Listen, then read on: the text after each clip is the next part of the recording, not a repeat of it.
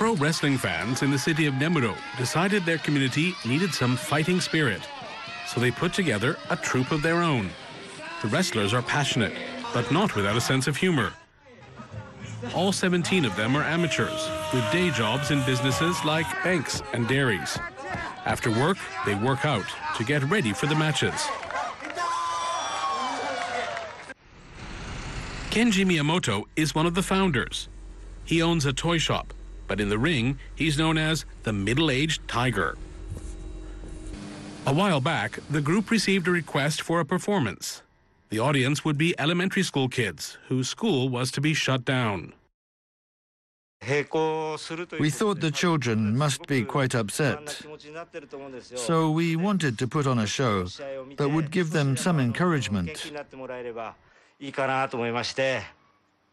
The town of Shihoro is about 250 kilometers from Nemuro.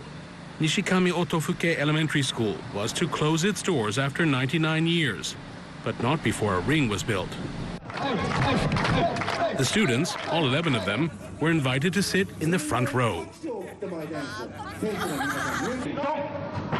From there, Miyamoto escorted them inside the ropes to try out some moves.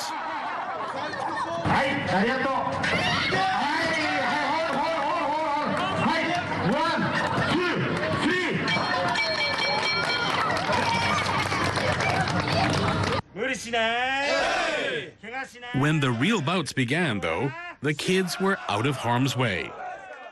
They wouldn't want to have to take on Andre the giant panda.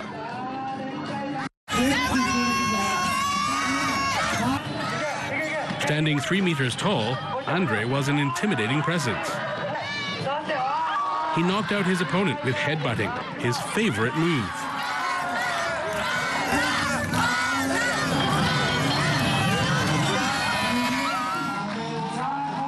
The next event featured a guest wrestler, the principal. The students gasped in excitement.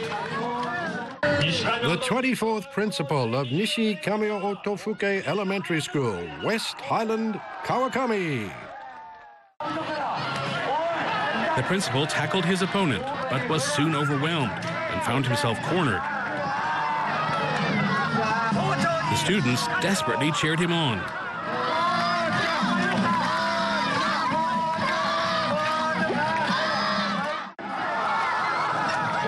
It worked.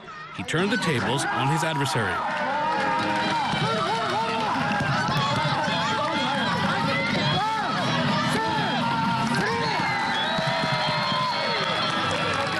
Victory for the principal.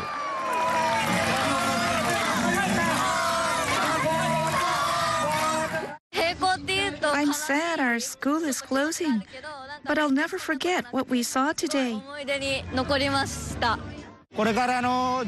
I hope the children remember today's performance from time to time in the future and are cheered up by it. That would make me very happy. Life is a fight to the finish, and these kids are still in the early rounds. You're watching NHK Newsline from Tokyo. Sayaka Mori joins us again with the world weather.